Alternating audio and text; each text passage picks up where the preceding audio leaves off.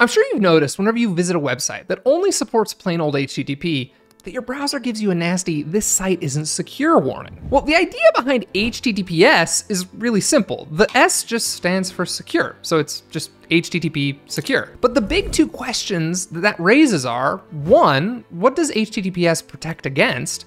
And two, what does HTTPS not protect against? Now, this isn't a video about cryptography, so we'll do a bit of hand waving here, but I still want to cover the basics. When you send an HTTP request and response, the data is sent across the vast infrastructure that makes up the internet in plain text. And that means that the software on your machine, your router, your ISP, the server you're communicating with, and anyone in between, they can all read your messages. Now, sometimes that's not a huge deal. Maybe you're just asking for a public web page.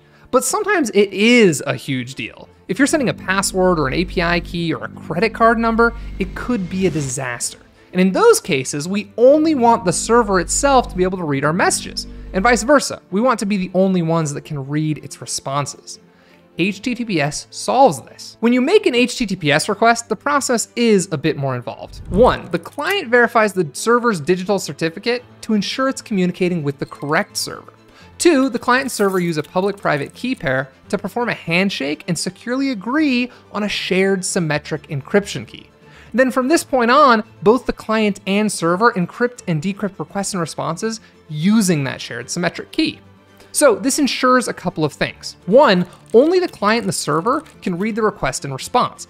Even if you're on public Wi-Fi, the router won't be able to decrypt your messages. Two, the client's communicating with the server it thinks it's communicating with. HTTPS isn't just about encryption, it also involves digital certificates and signatures.